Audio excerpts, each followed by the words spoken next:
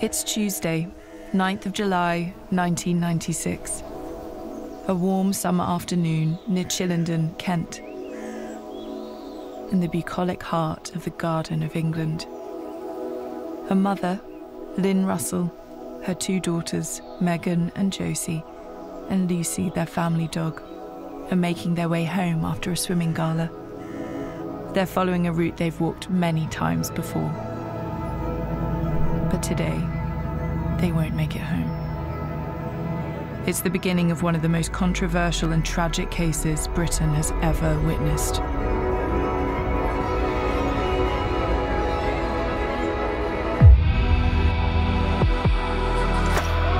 Police are indicating that the questioning of this man could go into the weekend. He started to use drugs very early on. The media were in a frenzy about this. It's a violent assault and it involves a mum and her daughter. The determination, the callousness, the brutality of it. Killing the children, the killing of their mother. It was a horrific crime. So that does make me question, have they got the right man? I don't know if he did it or not.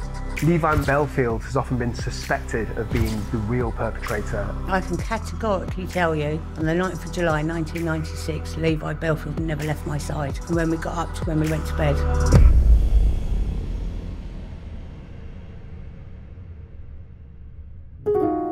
Shaun and Lin Russell and their two daughters, Megan and Josie, lived in a quiet and idyllic part of Kent, close to Canterbury. Shaun worked at the nearby university. Megan, six, and Josie, nine, attended primary school in the neighbouring village of Goodnestone. On a hot summer's afternoon in July 1996, Lin walked the scenic route to collect her daughters from school.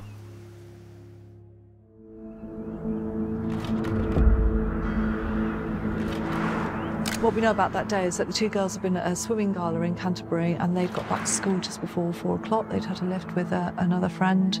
Mum, Lin, had walked across the fields to go and collect them with the dog. And as they've all come out of school, they've got their swimming bags, they've got their lunch boxes, and between them, they're carrying their stuff and they just set off to walk what would have been a 20 minute or so walk back home across the fields. They would have been walking home on their own um, with the dog, not expecting anything out of the ordinary to happen.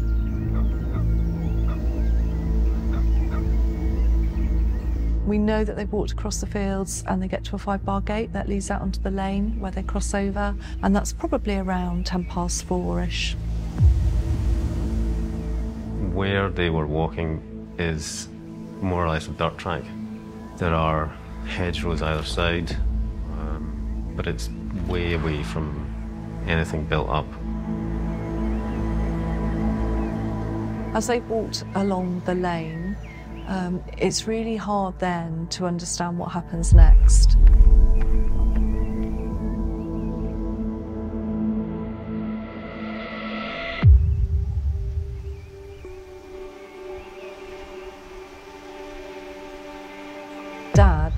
Gets home 7, 7.30 in the evening. He's obviously expecting the, the girls to be at home. And when they're not there, he thinks it's a bit peculiar. By 9 pm, Shaun Russell is starting to get anxious. He takes a drive around the area to look for Lin and the girls. At one point, he drives along Cherry Garden Lane. Perhaps the dog had run off and they were calling for it. Perhaps somebody had tripped over and twisted their ankle, or, you know, there's a whole myriad of things that may have happened that would have been a logical explanation for them not coming home. You can imagine, can't you, how scared he must have been? Having had no joy in finding them, he goes back and rings the police. Of course, then the police go to the house, getting there about half past ten at night. The police start their search of the area. The natural thing then is to actually walk the route that they know they had taken from school to home. It's midnight now, so it's pitch black. There's no street lamps around. All you've got is your torch. It's a very rural area. And of course, at that point, um, the officer is looking in the copse and comes across the three bodies, and to all intents and purposes, they all appear to be dead. The bodies of Lin, Megan, and Josie Russell are first spotted at around 12:16 a.m. There is no sign of life. At 1:30 a.m., a police officer and police surgeon enter the copse to examine the bodies. The officer makes a surprising discovery. As they look across at Josie, they can see actually that her chest is moving now. She's alive, she needs medical assistance immediately. The officer carries her out. Her arms and legs are flailing around, and he's obviously trying to console her. And the same officer that thought the child was dead, you know, an hour earlier, is there the one desperately trying to keep her alive. Just before 2 a.m. on Wednesday, July 10th, Josie Russell arrives at hospital. She has suffered extensive head injuries. As doctors fight to save her life, police continue work at the scene. During the course of the night, you'd want minimal disruption because you can't see a lot of what's happening. And you'll be amazed how quickly dawn comes. As the sun rises, the police are able to begin their investigation of the scene. Over 12 hours have passed since the attack. I was working for BBC Radio Kent. On that particular morning, I was doing a news reading shift. If you do a news reading shift, there are certain uh, routines that you go through. You go in and you phone the fire brigade, the ambulance service, and the police. There's a, a police press tape, and on it was the report of this terrible murder. I had to sort of digest the information and then call it again and jot down the details so that I could write the story up and clearly run it as my top story. So we know that at about 8.30 the following morning, key witness is seen by the police. And this key witness goes on to explain to the police that he had been out walking the previous afternoon and he's seen a man standing by a car with the boot open, which he just thought was a bit unusual. And when he goes back again to check, the car's gone and the man's gone, but he then discovers the, the bag which is the swimming bag, and it's got the towels that have been torn up in it that are heavily bloodstained. The witness describes the man he saw as aged 35 to 40, with light coloured hair, driving a beige car. The blood on the towels and bag is the victim's, so this is a definite sighting of the killer. It's now a race against time for the police to identify him. It's now midday, and almost 20 hours have passed since the brutal attack, which left Lin and Megan Russell dead and Josie Russell fighting for her life. Forensic examinations of the scene are underway. At around midday, head of forensic investigations Jim Fraser arrives at the scene. When I arrived there, of course, there was a lot of police there. I'm trying to kind of prepare myself mentally for uh, you know, how I'm going to investigate this, how I'm going to make sense of it. When it's a violent assault, as it was in this case, so it's a very bloody scene, and it involves a mum and her daughter, the emotional impact of what you're looking at is always significant. But of course, on one side, it's a bright, warm, summer, sunny day. You know, there's a kind of ripe cornfield on my right hand side, kind of swaying in the wind. And on the left side, there was a kind of circle of trees and in that space were the two bodies. Investigators always hope forensic experts will be able to give them a clear idea of what happened and who the perpetrator might be. But this scene was challenging. The difficulty with this scene is that there were no even surfaces. It was plants and loose soil and vegetation and, and branches all lying around.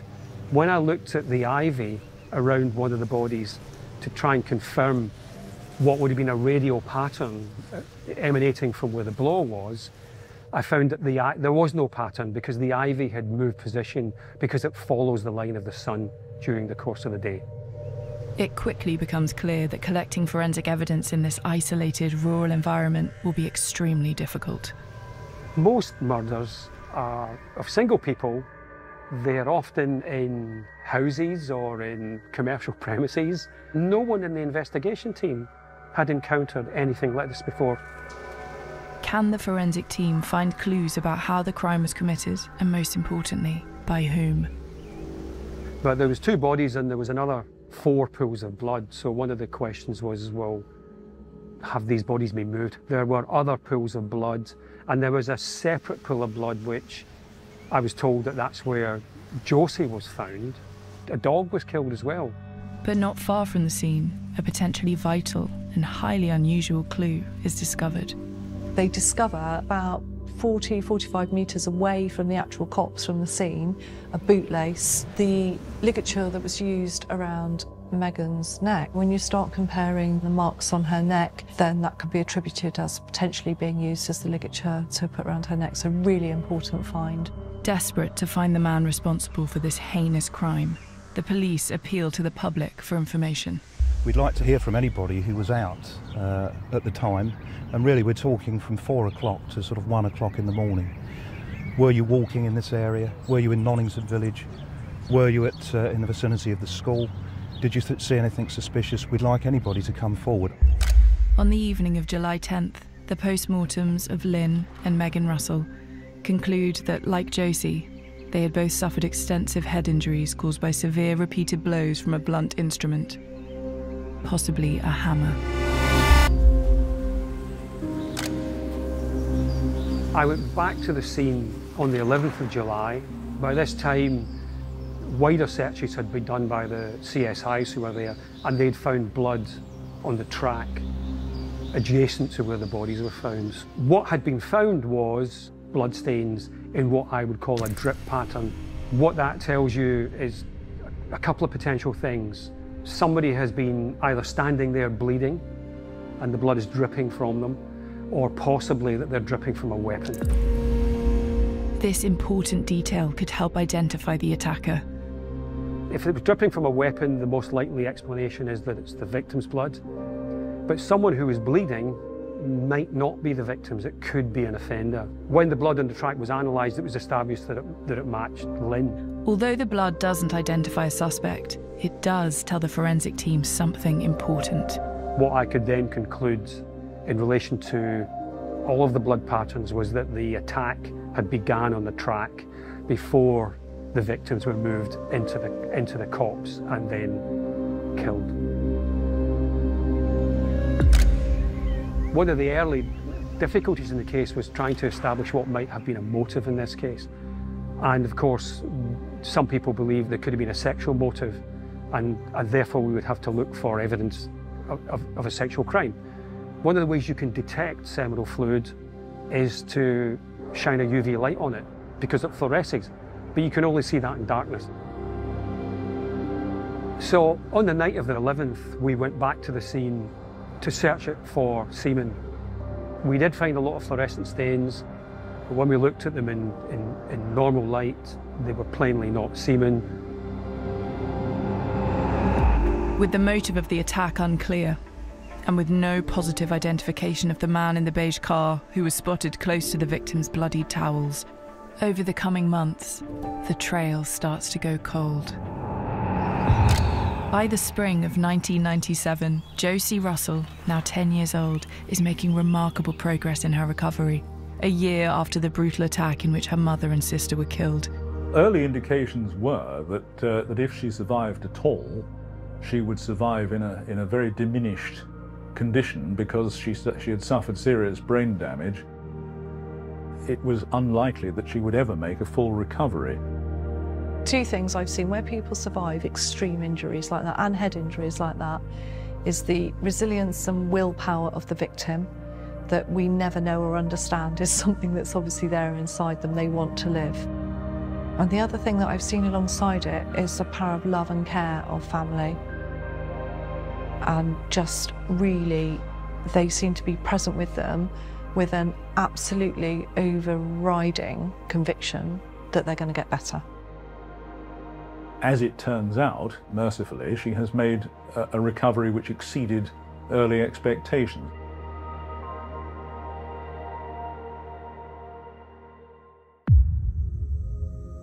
Once Josie has recovered sufficiently, police are keen to speak to her about the incident.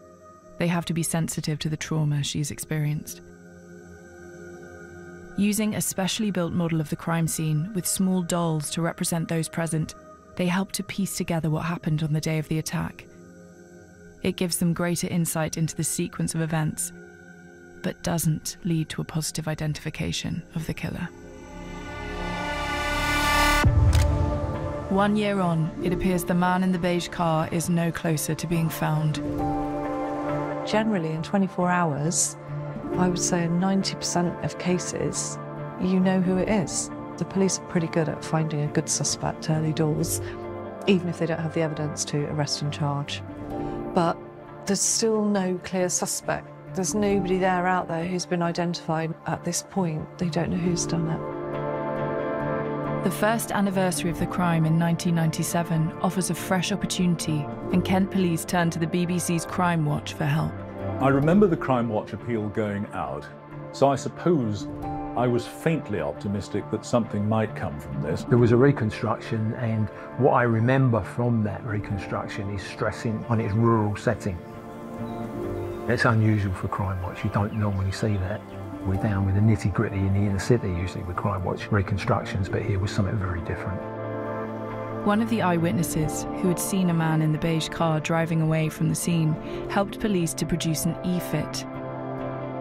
It is this e-fit, shown on Crimewatch, that gives the police their most significant lead in the case so far. She had seen him in his mirror, and she was concerned that he seemed to be quite angry. Um, she then created a, an e-fit picture of him.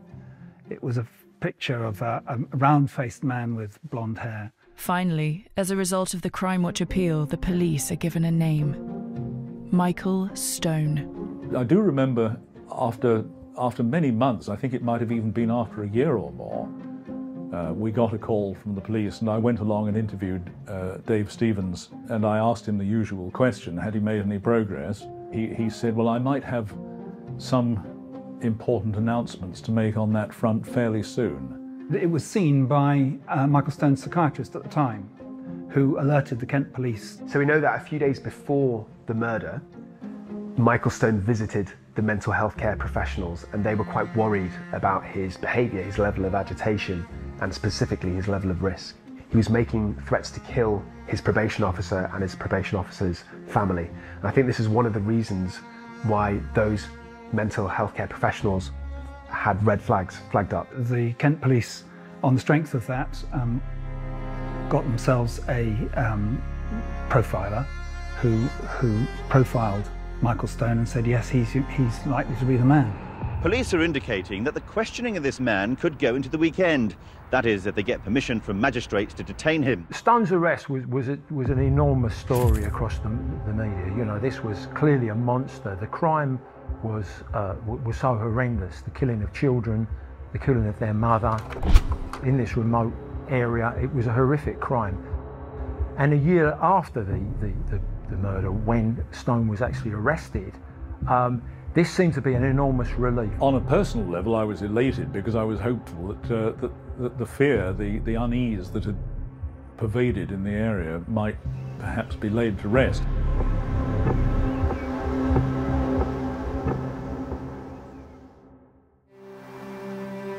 Kent is often referred to as the Garden of England, and the area around Chillenden typifies the bucolic beauty and quiet charm of the county. But 40 miles away, in the Medway region of Kent, a group of coastal towns, which have faded from a once affluent and busy naval past, lie on the estuary of the River Medway. During the 1980s, in stark contrast to the picture postcard villages of rural Kent, these grey, forgotten towns had a very different story to tell. The Medway towns had traditionally been, been boom areas. You know, this was where the, uh, the Royal Dockyards were. There were a lot of jobs here, and there were a lot of very skilled, well-paid jobs here as well. Um, that changed in, in the 1980s. Uh, the, the dockyards were closed down. Uh, 20,000 people were put out of work. It resulted in 16% unemployment in the 1980s. The Medway towns in many ways started to resemble deindustrialised areas in other parts of Britain. And the result is unemployment. The spin-off of that is drugs, domestic violence and crime. And the Medway towns were no different in that respect. Anything that comes through Dover uh, makes its way to Thanet and Medway first. Guns, drugs, people, everything comes across the channel, and there's a lot of coastline. If you can afford to live in the nice part of Kent, then there are plenty of them. But uh, if you're in North Kent and Medway, then you know there's there, there hasn't been that much else to do uh, unless you're involved in criminality. Although we call it, the, you know, the, the Garden of England, there are pockets in Kent that have got the characteristics, all the characteristics that we associate with, with, with the inner city and generating crime that we would see in the inner city. By 1996, Michael Stone was a resident of the Medway region, living in Gillingham, and had become involved in the local crime scene.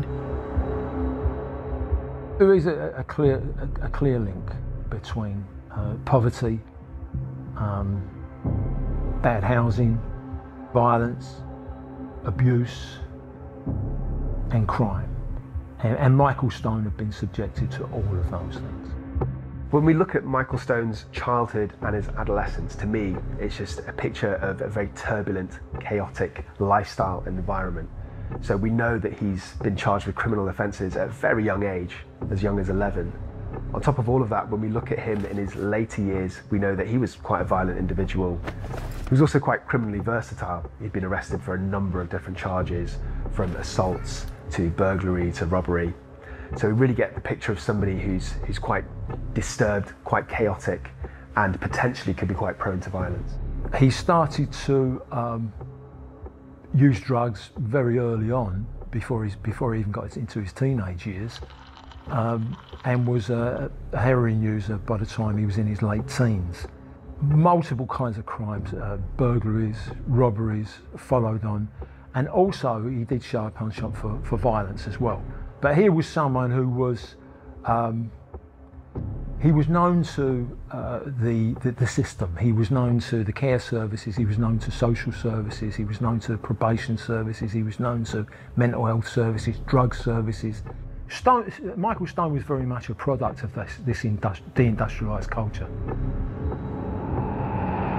By the time he was in his 30s, Michael Stone had been known to the police for over 20 years. Stone was obviously uh, known to police because of his uh, history of, of offending and also because he was a police informant. As an informant, uh, he was being paid small amounts of money, usually £50 a time, um, to give information on local crime, low level stuff, nothing serious, nothing too dramatic, but he, he could keep his habit ticking over by providing this low level information to the police. When we look at Stone's previous offending, we know that his first conviction for a very serious offence was in 1981, where he reportedly attacked a man with a mallet or a hammer, and he was charged with GBH and robbery. And then in 1983, he stabbed a man who was known to him in the chest. And then in 1987, he got sentenced for 10 years due to armed robbery. One interesting aspect to this case, in my view, is that we know that Michael Stone was a very heavy drug user. He spoke to some professionals and told them that he was spending about £100 a day on heroin and crack cocaine. There's a huge overlap with drug misuse, and often this drives offending. And there's a number of different forms and mechanisms. So, in, in my clinical experience, I've certainly assessed many different offenders who have drug and alcohol issues. And often their type of offence, specifically their level of violence, is far higher when they're intoxicated, when they're disinhibited, and when they're, when they're in that aggressive mindset than their baseline behaviour when they're relatively stable and sober. Police now have their prime suspect, though there is nothing concrete tying Stone to the crime. But the police are about to get a breakthrough that will change everything. It's September 1997. 14 months have passed since the horrific attack on Lin Russell and her two daughters, from which only nine year old Josie survived. The only real suspect in the case is Michael Stone, but without a confession, positive witness identification, or DNA evidence, police are unable to charge Stone with the crime. Whilst he's in Canterbury Prison, he's put in the segregation unit And it then becomes apparent that he's made a confession to a guy called Damien Daly. Daly discloses this confession to the prison staff, who naturally call in the police to go and investigate. And from there, Damien's tale unravels about how they managed to communicate through the pipework, and he gives some key information that he says Stone has relayed to him. At that stage, Kent police are thinking, oh my God, here we go. It looks like we've got the right man now. More than two years after the murders, the trial of Michael Stone begins at Maidstone Crown Court. In addition to Damien Daly's account of Stone's confession, two more prison witnesses, Barry Thompson and Mark Jennings, have come forward with statements which appear to support the confession. There is also circumstantial evidence which supports the prosecution case. So, October 1998, we're talking, what, nearly two and a half years since the actual murders and the attempt murder, and the police are now trial ready.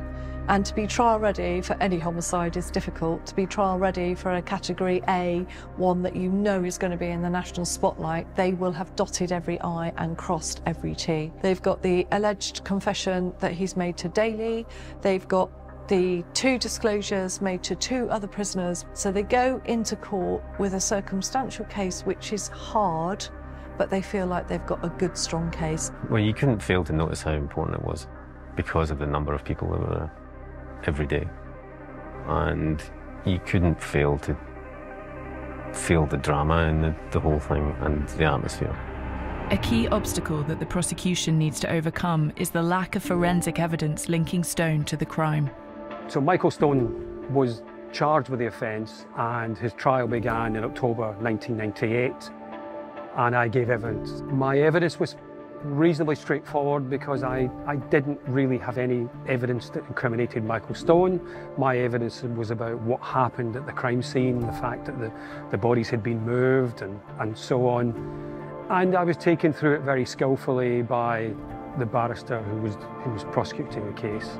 Lawyers frequently use a description when, when describing circumstantial evidence to a jury of what they call the smoking gun. A man walks into a room and he sees another man holding a smoking gun and a dead body in, on, on the floor. And that's what's called circumstantial evidence. It doesn't have to be weak evidence. Um, it can sometimes be very powerful evidence, but it's usually an inference. In the early stages of the trial, some begin to question the accepted narrative. Stone's use of the hammer, or the attacker's use of the hammer, was described as a frenzied attack. The frenzied nature of it is clear in the number of blows and the brutality of it. But everything else around the scene shows that this incident must have taken quite a few minutes. So the, the idea that, it, that it's frenzied from start to finish just doesn't work. There's so many different conflicting ideas of what could have happened because of the way the scene looks. Whoever it was must have been there for a long time. They had to get the mum and the girls and the dog to where they were eventually killed. We had to get them to cooperate, and then whatever happens after as well. Despite the lack of forensic evidence, a physical exhibit was used to support the circumstantial case a bootlace found near the scene. A bootlace was found at the, at the scene of the at the scene of the murder, and um, the allegation was that this had been used as a as a tourniquet by a heroin addict to use to tighten the tighten the veins and make the, the vein protrude. And of course, Michael Stone is, is a heroin addict. The only eyewitness to the murders was Josie Russell, the sole survivor. Despite her horrific injuries, she had been able to give police interviews, videos of which are used in the trial. One of the many unique things about this trial was that Josie Russell was able to give evidence, getting a first hand account of how this happened, or as much as she could remember. Um, it was very dramatic in court. It was very dramatic. It was an emotional day in court when that was played. One of the prosecution's main strategies is to expose lies they claim Michael Stone had told the police, including his denial of carrying a hammer in his car and his familiarity with that particular part of Kent. Stone claimed not to have any knowledge of the area at all, but it was actually found out that he was um, at one point in a children's home. So he knew something of the area, but he was only there for a very short period of time. Well, one of the agreed facts that was admitted before the jury was that uh, a former friend of Michael Stone had driven around the area with him and indeed um, uh, Michael Stone had directed him showing knowledge of the area. It should also be noted that he was he, he was around the area allegedly he was looking for sheds, outbuildings, burglaries of, of, homes as well, and he had come quite close to the Chillenden area, to the spot where the where the Russell family were, were, were murdered. So he did know something of the area. The prosecution also puts forward the evidence of two former associates of Stone, who claimed to have seen him in the period following the attack. The prosecution estimated that this was on the day after the murders, July 10th. However, under cross examination, one of these witnesses was proven to be unreliable. There was some questionable evidence from a couple who said that they'd seen Michael Stone with blood over him on his clothing. Uh, that evidence was contradicted. Uh, there was a police officer who saw him that day uh, and described him as being clean shaven and clean and tidy. Stone also had a meeting with a member of the mental health team who also made no mention at all of bloodstained clothing. After stating Michael Stone's denial of certain claims made against him, the defence team has to decide whether the accused should enter the witness box. The defence have done their job during the prosecution case of trying to knock it down. If they don't have an alibi, if they don't have supporting witnesses for that alibi, the only other thing that you can do is put the defendant in the box. Stone was never a candidate, really, for going in the witness box. The jury retires to deliberate its verdict. Two years of complex police investigation is about to be over. In all honesty, I, I really wasn't sure which way it would go because, on the one hand, there was a lot of circumstantial evidence um, tying him to the case, and there was the uh, statement by Mr. Daly uh, indicating that uh, he had made a confession in prison. So I, on the day, I waited the um, the verdict with what you might term bated breath. Although it hasn't reached a unanimous verdict, the jury does eventually return with its decision. It's always it is a tense moment when when you know that the jury's come back with a verdict. Stone looked engaged. Um, from what I remember, he was engaged in the process. And that was that was definitely firmed up when uh, the jury came back with their verdict by his reaction. The jury, with a 10 to 2 majority, finds Michael Stone guilty. Packed courtroom. And then when the verdicts are announced, Stone reacts. He jumped up and he shouted, and, you know, he was restrained, and it's one of the more uh, outspoken or vocal reactions I've seen in, in a trial. I don't think he was expecting it. As far as the verdict was concerned, it was surprising because, um, uh, uh, certainly from the defence point of view, we took the view that the evidence was pretty slim, um, especially because most of it was based on Damien Daly's um, uh, purported self confession. So the result was a surprise. The prosecution has secured its verdict. The case appears to have been solved. I have no doubt I've been able to hear a pin drop in that court. And when those words come out for the first indictment, because obviously there's a number of indictments, guilty, uh, the relief there for those officers and the family will be enormous. And it is relief rather than elation at that stage. Because you think, oh, ah, we've done it, we've done the right thing. So relief, then elation. But celebrations were short lived. Within days of the verdict, a revelation in the media shocked the nation. The day after the trial, which convicted Michael Stone for the murders of Lin and Megan Russell and the attack on nine year old Josie Russell, a bombshell was dropped by one of the witnesses, Barry Thompson. That day of relief and elation from guilty verdicts is really short lived because 24 hours later, a key witness, one of those who says that there's been a disclosure by Stone in prison, has then said, actually, I've lied. A fellow called Thompson, who said that he had heard Stone effectively making some sort of confession in the exercise area.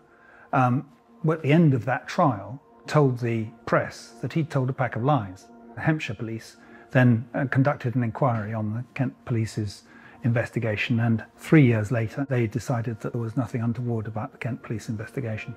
Thompson's evidence was meant to have supported the prosecution's main argument that Stone had boasted of the murders to other prisoners. Today's allegations can only strengthen the claims that Stone's conviction was unsafe. Absolute devastation. Your whole case, everything that you've worked so hard to protect the integrity of, to get it to court and do the right thing, is suddenly blown out of the water. With Thompson's evidence discredited, the man who'd always claimed he was innocent won leave to appeal. Barry Thompson's retraction of his earlier evidence was the reason why they overturned the conviction and, he and, and Stone was able to appeal. The appeal judges will decide Stone's fate on Thursday. The Crown will press for a retrial, but Stone's lawyers will argue he should be released immediately because the publicity surrounding him would make a fair hearing impossible. The outcome of Stone's appeal was that there would be a retrial. The defence had pushed for dismissal of the case. Uh, one of the reasons they want they said it should be dismissed was because of the the level of publicity throughout the country and that everyone knew about the case. The judges in this instance, if you like, avoided that possible uh, bias of jurors by moving the retrial. It was moved to Nottingham, which is about 170 miles away from the, the first trial. So different jury, different location. The idea being that it could be independent of any previous judgment. Court of Appeal said um, that, um, in fact, it was three years before, and people all had forgotten about it, and they sent us up to Nottingham, where they said nobody will um, have remembered it. And indeed, the, the, jury didn't seem to remember the case when they were asked about it um, before they were caught, before they panel. I guess when I knew there was going to be a retrial, I, I just sort of thought, this case is never going to end. The evidence against Stone is very slim, it's circumstantial, and if anything, the evidence at the, at the retrial is going to be even less evidence than was at the first trial. But my job was to was to keep going. You know, again, because of the technology, because the DNA technology was continually moving, I was continually reviewing the case. I was continually in discussions with Dave Stevens, the, the SIO, about what anything else that can be done to review these findings. It was, it, it, it just was never let go. On the 5th of September 2001, Stone's retrial began at Nottingham Crown Court. Barry Thompson's supporting evidence was no longer a part of the case, and the evidence of Mark Jennings was also excluded, leaving only Damien Daly's testimony of Stone's cell confession in the circumstantial case. Although we'd been reviewing the case, there was no other new evidence. No, certainly no other new forensic evidence was used in the retrial. The defence raised questions about the cell confession. We were also not happy that it was possible to hear Michael Stone through those pipes. So much so that, in fact, um, when, when, in the second trial, uh, we all were travelled down from Nottingham Crown Court to Canterbury Prison. And the jury, the, the, judge, the, the, the, lawyers, everybody, and we, um, we listened to a sound expert who sat in the, stone, the, the cell that Michael Stone had been in, reading Harry Potter, and the jury trooped in and out of the other of Damien Daly's cell to see if they could hear him reading Harry Potter at different volumes. It was there was something surreal about it, I have to say. It turns out that in fact the jury could hear um, the, the sound expert um, reading Harry Potter in the cell next door. As the retrial drew to a close, the judge advised the jury that the case stood or fell on the testimony of Damien Daly. If they believed that he was telling the truth, then Stone was a guilty man. But if they didn't believe him, high profile cases inevitably um, put the jury under quite a lot of pressure. They're going to be concerned about getting the right verdict, and, and inevitably, the jury are going to think to themselves, if we acquit and he's the man, then that's all. That's nothing can be done about it. Of course, they might be thinking to themselves, if we convict, then uh, if it's the wrong man, the Court of Appeal might sort it out. Michael Stone arrived at court this morning hoping he'd be a free man by the end of the day. But after nearly 11 hours of deliberations, the jury found him guilty on three counts of murder. I was very surprised that he was found guilty a second time because the second jury had even less to go on than the first one. Um, you know, and the, the first jury, they're all from Kent, obviously, they're all taken from the local area, so you, you know, uh, it's like boxing, it's a hometown decision. So to get a retrial because one pillar of the evidence to convict has collapsed, uh, and to get a to get a second conviction on that when when the case is even weaker was very surprising. Yeah. I was half expecting the conviction to be overturned, really, because um, when the judge directed that the the whole case stood or fell on Damien Daly, that seemed to be uh, a relatively insubstantial um, pillar on which to stand an entire conviction, and I thought perhaps that that might not be enough. The second trial is over, but has an innocent man been wrongly convicted for a second time?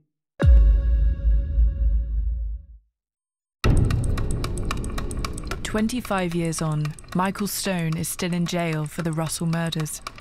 This case continues to generate fierce debate, both online and in the national media. That debate includes the arguments and evidence introduced in court and questions about conclusive proof of Stone's guilt and his motive for the crime. One key weakness of the case still remains.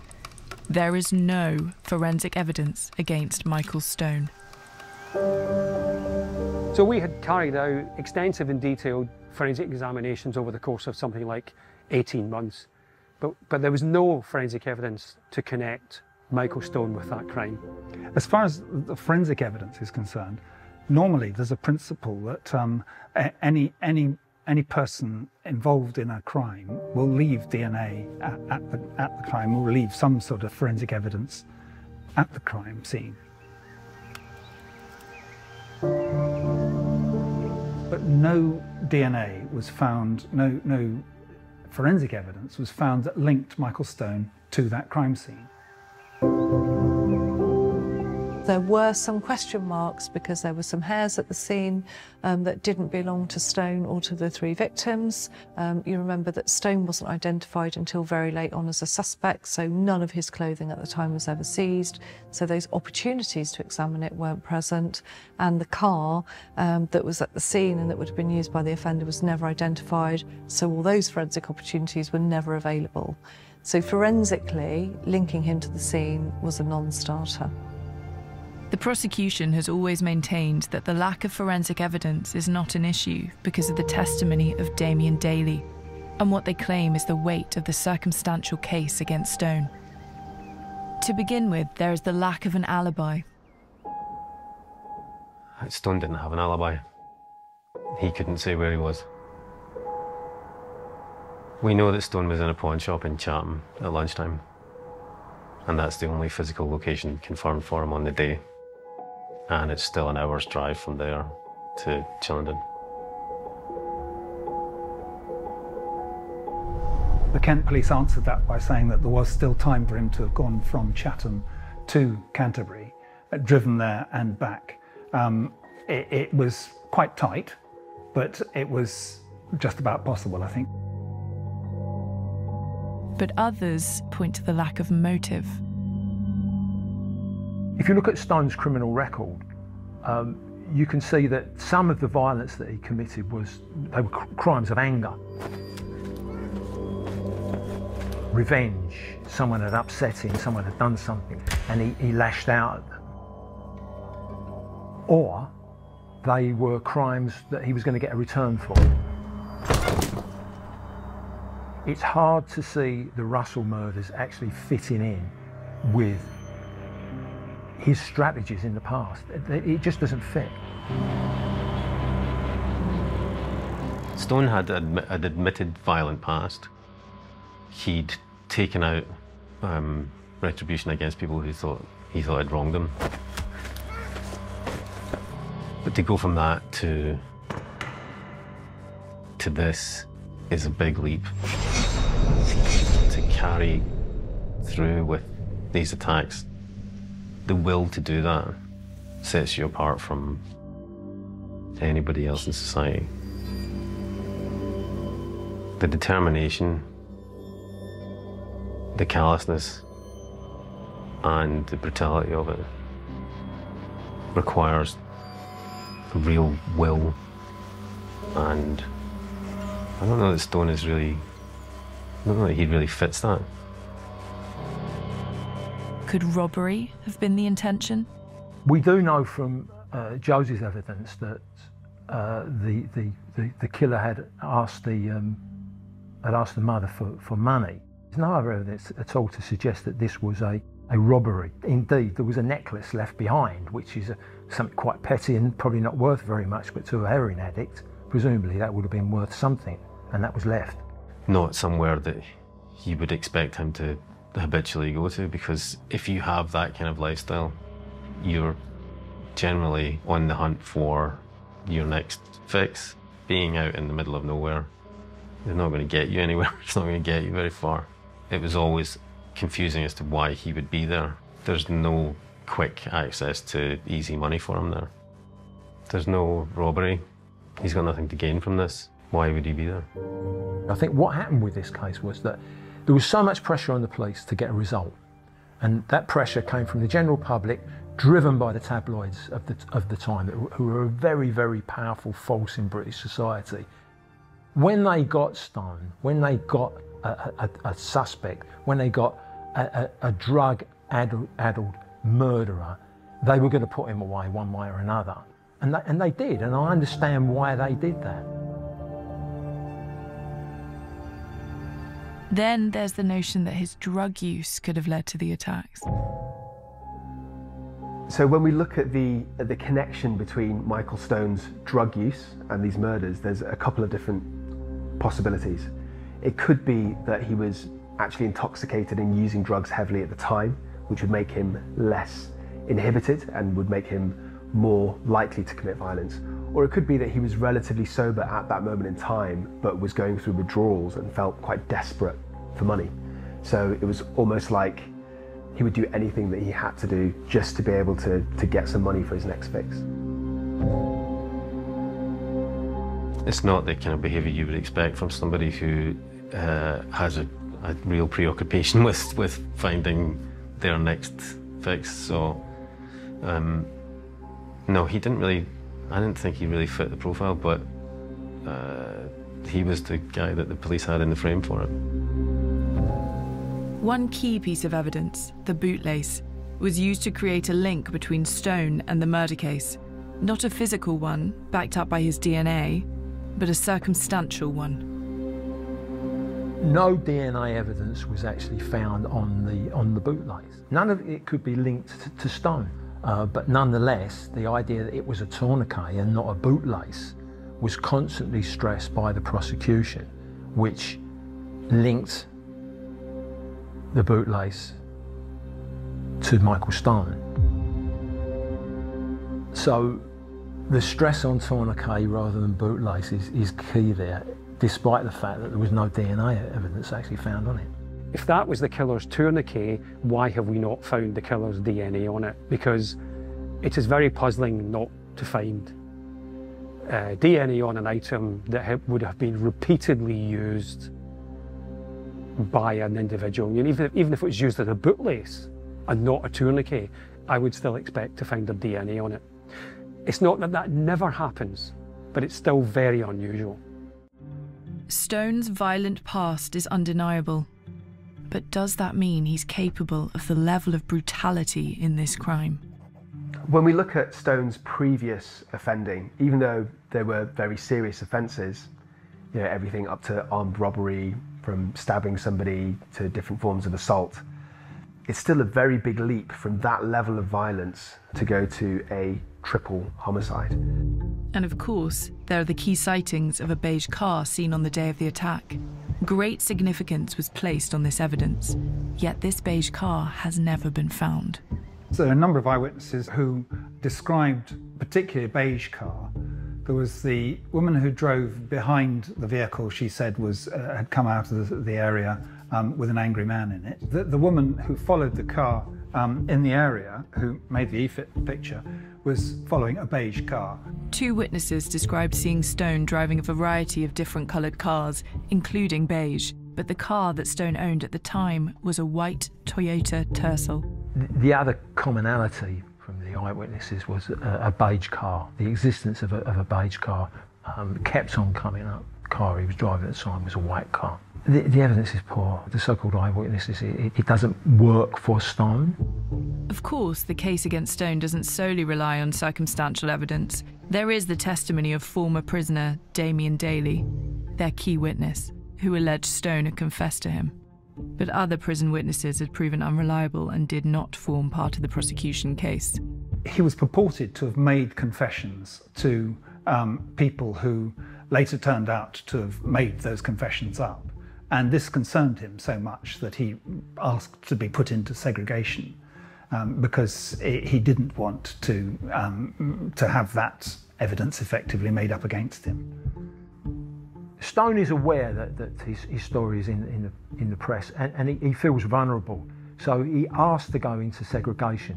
If you've asked to be segregated because you think you're going to be a target of attack and also because you think that you're possibly going to be uh, the target of um, stories or anything made up by other prisoners, of course you're going to ask to be segregated, and it's highly unlikely that you're going to try and speak to anybody.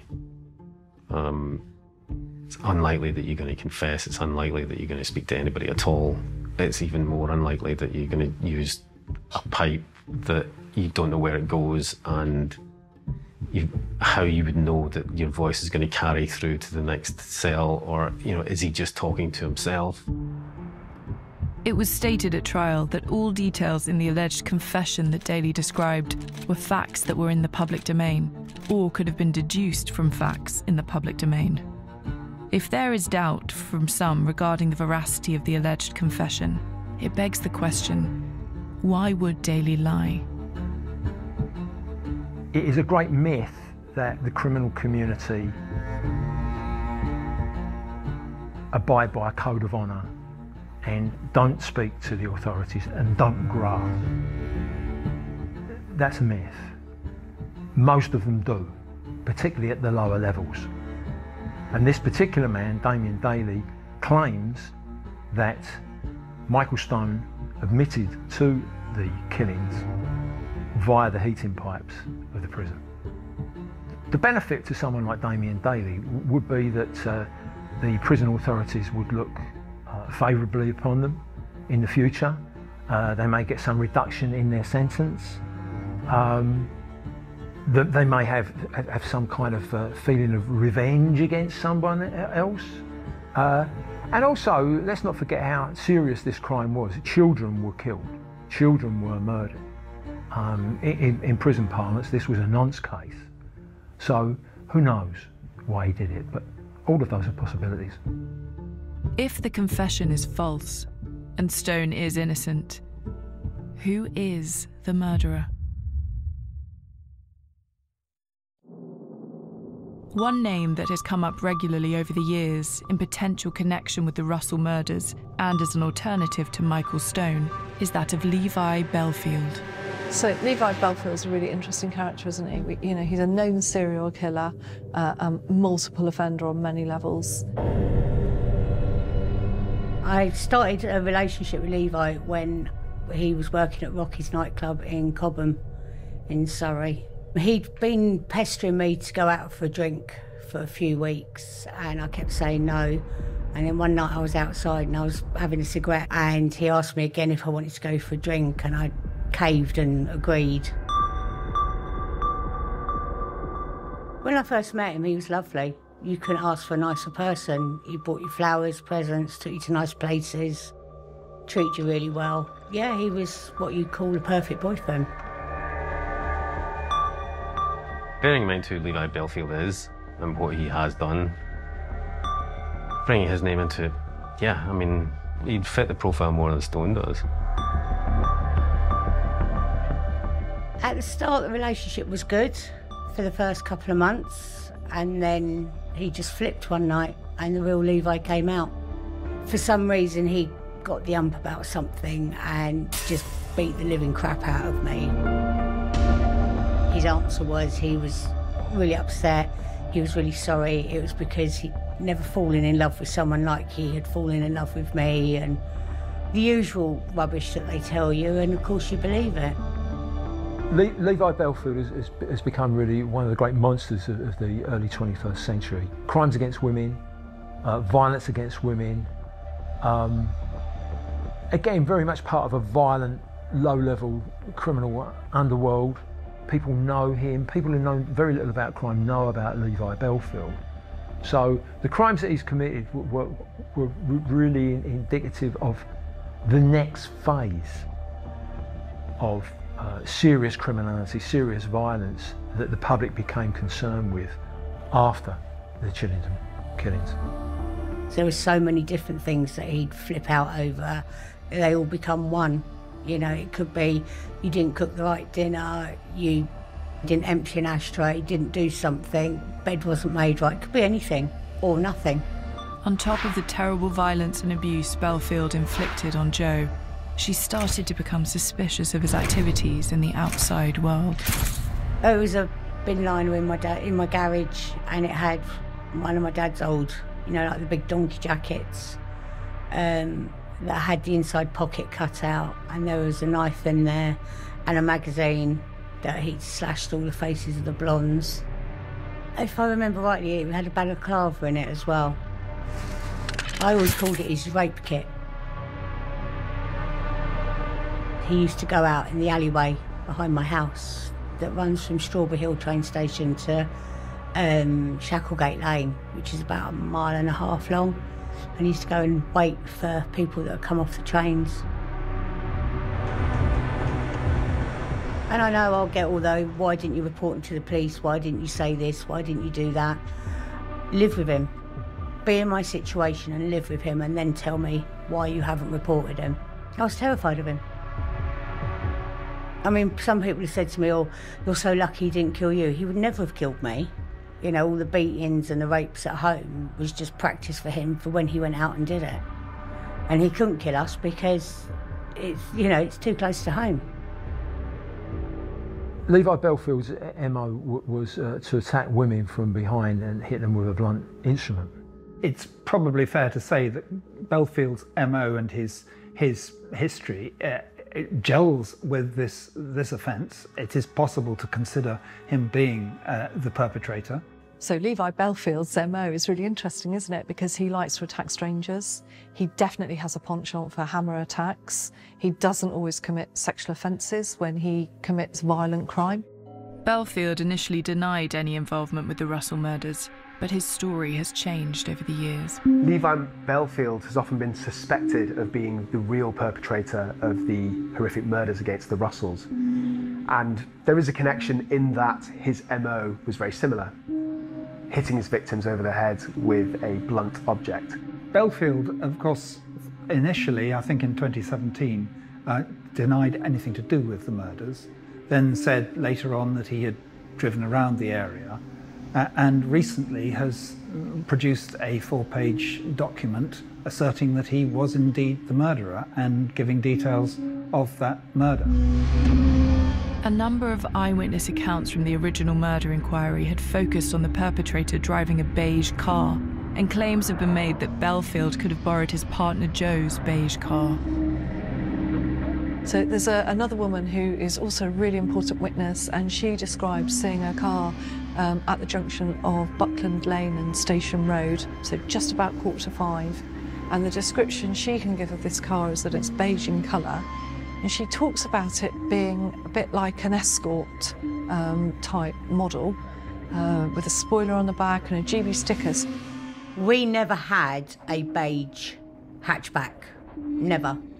We did not own or drive a beige hatchback. I had a Sierra Sapphire at the time, and it was like a opal, sort of pearl ivory kind of colour. It had nothing like no stickers, no fins, fans, spoilers, nothing like that. Another potential link to Bellfield is what has been claimed as his apparent similarity to the man in the EFIT image. He always had black hair gelled back. Apparently, he dyed it blonde, but I don't ever remember it being blonde. I mean, it really wouldn't have suited him if he did, and if he did, it was probably for a couple of days because he would have had his arse ripped out of him for it. Because you don't go from being jet black to blonde. He had jet black hair. Jet black hair. You know, if you've seen the picture of him when he sat on the floor in the check shirt, that is when we were together. That is exactly how he looked. But the biggest obstacle to accepting the truth of Bellfield's alleged confession is Joe's recollection of his whereabouts on the day of the murders. So, on the 9th of July, 96, it was my birthday. We got up in the morning. He actually made breakfast that day. We spent a little bit of time playing with the baby. Then we went to the stables to do my horse, which is, was in Windsor. He wouldn't let me get out the car to start off with because he had a surprise. And what he'd done is gone round to my stable and he'd tied some balloons to the door and he was so happy about it you know. Oh, it was a lovely gesture you know it was really sweet. And one of my best friends was there and a couple of other friends on the yard. And we did the horse and potted about. And then he said about going for lunch across the road which we did quite a lot I remember what I had because I always ate the same there. Always had, they did a really nice homemade lasagna and garlic bread. Um, then we went back to the stables, finished the horse off, went home, played with the baby again, had a bath, what have you, got changed, and he took me out for dinner that night. We would have gone to dinner about eight o'clock that night. But there's absolutely no way from when we got up to when we went to bed that he left my side or went anywhere bar putting the balloons on my horse's stable door that he could have driven to Kent, done what he says now that he did and what other people are saying that he did, and came back without me knowing. It's an absolute impossibility. I can categorically tell you on the 9th of July 1996, Levi Bellfield never left my side from when we got up to when we went to bed and it boils my piss to say it because I've always said, yes, he's done this, yes, he's done that, yeah, no, uh, yeah, yeah.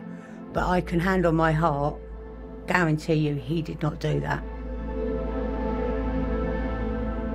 Bellfield enjoys attention, that's absolutely clear, and this is by him um, confessing to the Chillenden killings is a way of drawing attention to himself yet, yet again I, think one of the dangers here is that we look to we look closely at, at, at Levi Bellfield rather than looking again at Michael Stone, because what we really need to know is did Michael Stone commit this crime? Um, if he didn't, then we look elsewhere. Uh, but I think one of, the, one of the problems is if we concentrate too much on Bellfield, it ignores Stone, and Stone has been in prison now for a very long time for a crime that he may not have committed. If Michael Stone did this, he was convicted on the most marginal of evidence, and, and I feel uncomfortable about that. I don't know if he did it or not, but I know that he didn't prove that he did it. He's always protested his innocence, which how many people go to prison and protest their innocence vociferously like that for all that time? Not many. So that does make me question, have they got the right man or not? We're in Cherry Garden Lane, and in here there was the two bodies that I saw, but originally three bodies found by the by the police. 26 years after this crime happened, people are still arguing about this case. If Michael Stone didn't attack the Russell family here 26 years ago, and Levi Bellfield didn't kill them, then the killer is still out there.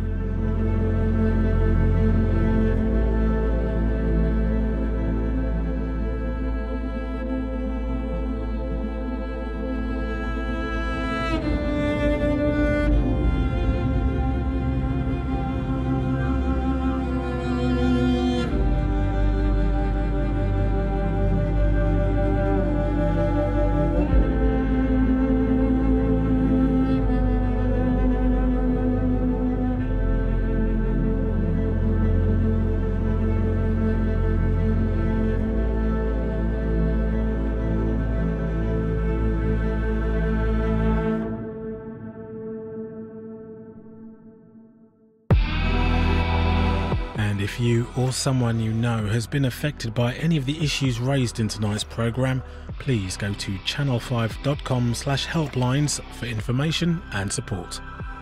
More true crime next in Crimes That Shook Britain.